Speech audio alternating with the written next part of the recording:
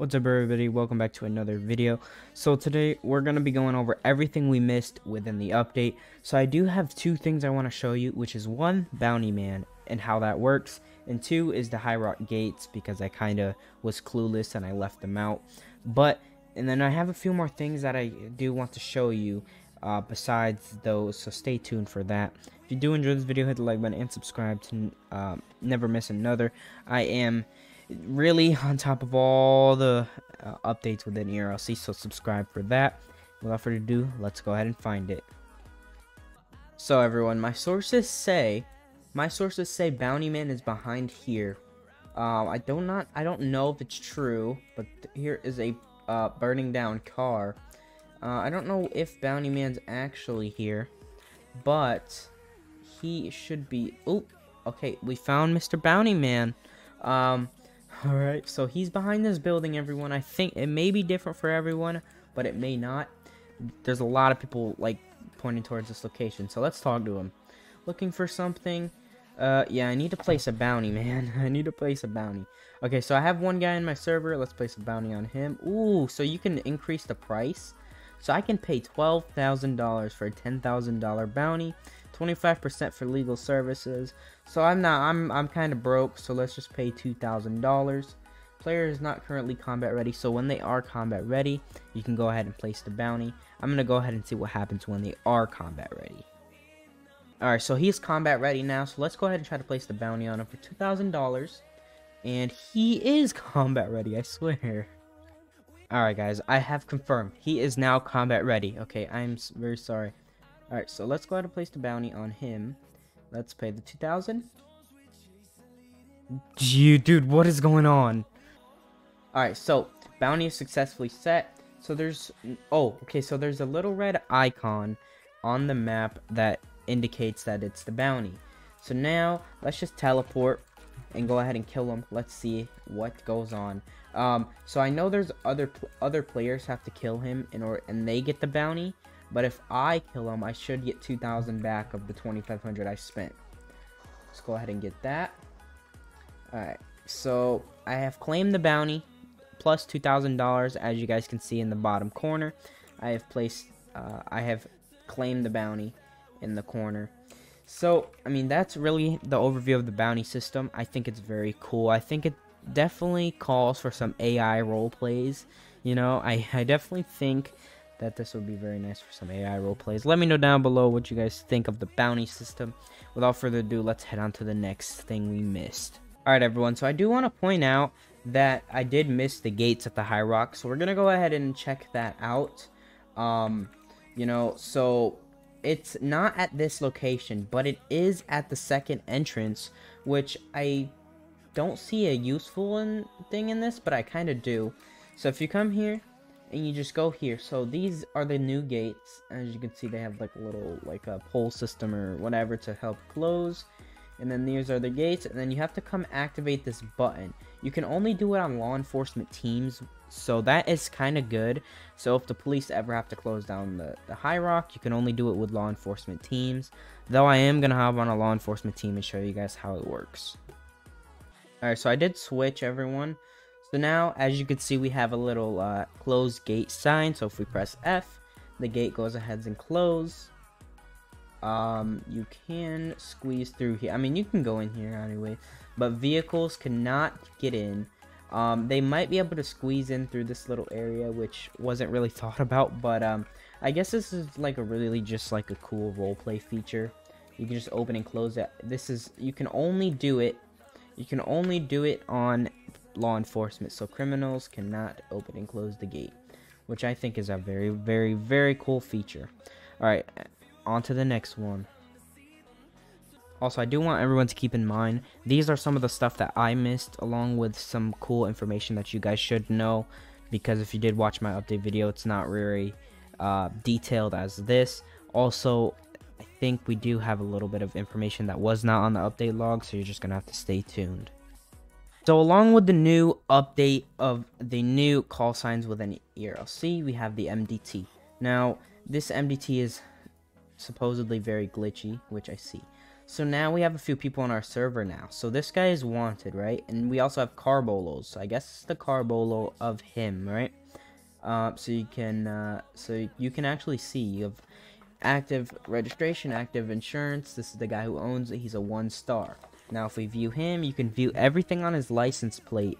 Not on his license plate, on his actual driver's license. Um, recent crimes, you can view that. Active vehicle, you can view his active vehicle. Now, the air support, I'm pretty sure it works the same way.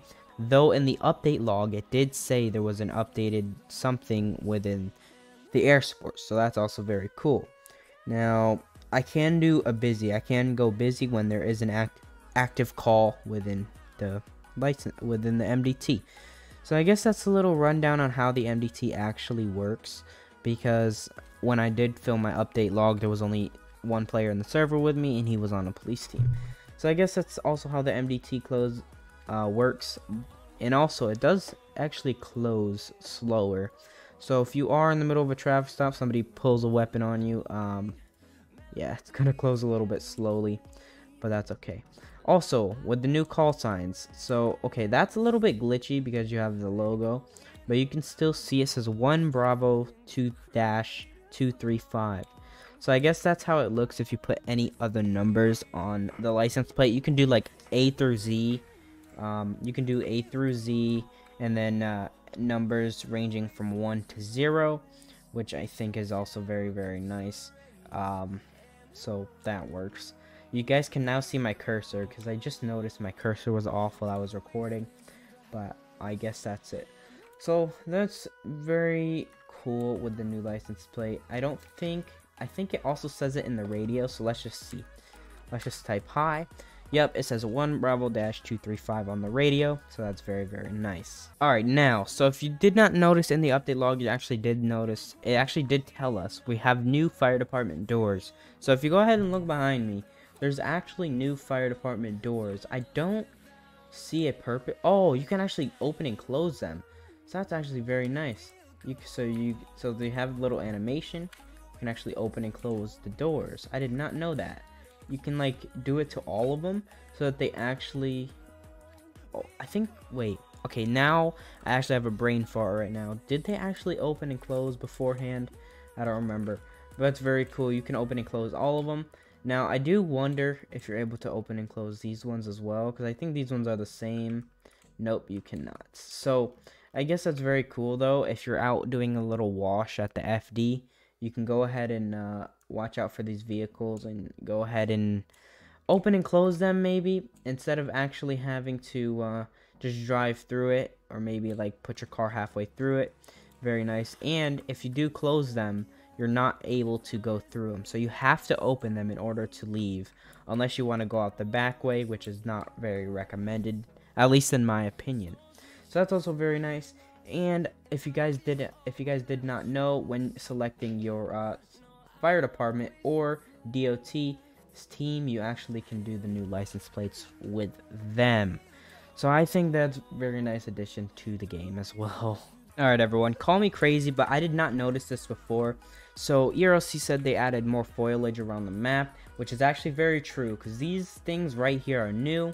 And then there's like all new types of like bushes around the map and I think that's very cool. I don't think this is the only place um, that there is like foliage around the map, but this is just a starter. Like I'm just telling you right now, this is like part of it, I guess. They also filled some of these plant pots. Uh, you could find these plant pots uh, multiple places around the map, along with foliage. I remember they only had dirt in them, so I guess that's very cool now. Um, so yeah, so there's more plant pots like over here and places like that. Um, I don't see any real changes towards the park area. You'd think they would have the most foliage, but I guess that's very nice. They added some more little land features. Alright everybody, here's another cool feature. So if you actually come down here, you can see your cell phone license and I, of course, I have a drill. So if you actually view your license. You can view your own license. I don't think this is a feature that before. You can't actually view what's on the license, but you can actually just view the license. So I think that's very nice. Um, it just does like an animation. Very cool for roleplay. I don't think uh, anybody's going to use this in public servers because you can't actually view what your own license says. Um, and, um, yeah, so I think that's a glitch that they need to fix because now my hand is stuck. Maybe if I move, nope, my hand is my hand is completely stuck like this, so I guess that's a glitch that I need to go report. But other than that, great feature. Well, uh, by the time this video goes up, I assume you've seen all, most, or all of the features that I've uh, said in this video, but I hope this video did help you.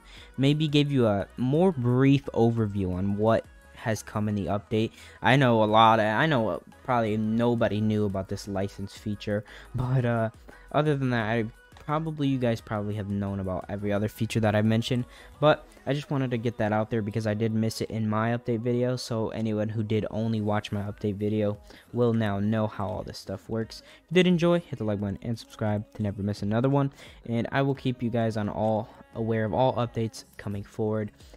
But without further ado, I'll see you guys. Have fun playing the update, and goodbye.